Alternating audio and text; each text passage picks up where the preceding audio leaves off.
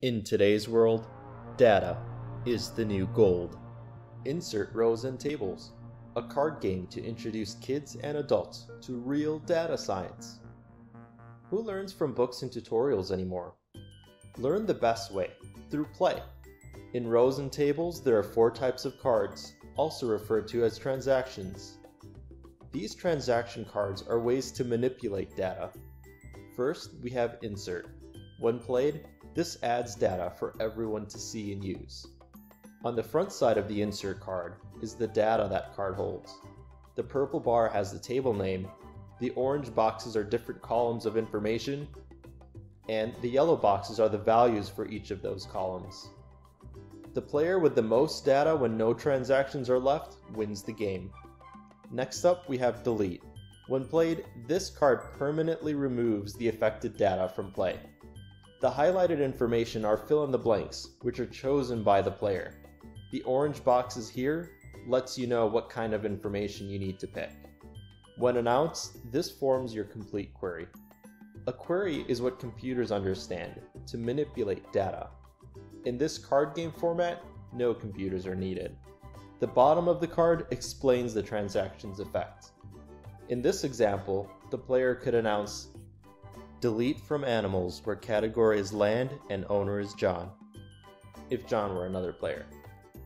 Like the real world, there are companies looking to buy data. Select cards let you query for the data you want to sell, but beware, the sale counts towards the current owner of the card. For this game, once the data is sold, it becomes worthless to the other players, so they're ignored for future transactions. In this example, the player could announce, Select from animals where entry is bear. Once selected, data cards are placed face down and away from the play area for safekeeping. Finally, we have update cards, which are used to change data. For our purposes, this just means changing the owner of the data, which allows you to take other players' data cards. In this example, the player could announce, Update animals, set owner to me, which results in taking everyone else's animals' data cards.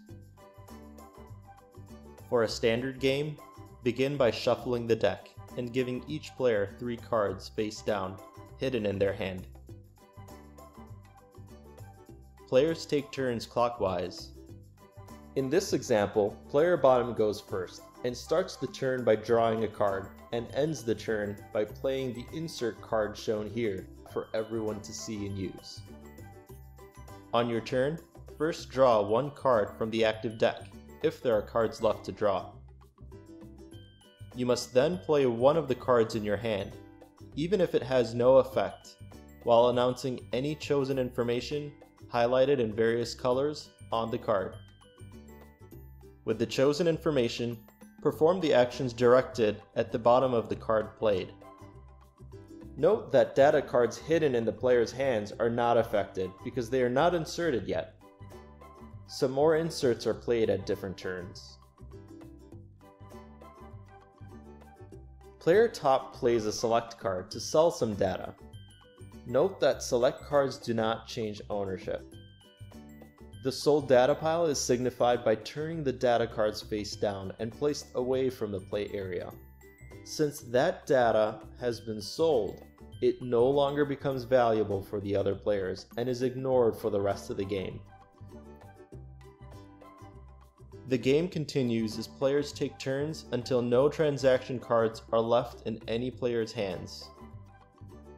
The player with the greatest number of data cards, either sold or owned by the player, wins the game. Learn the best way through play and order today.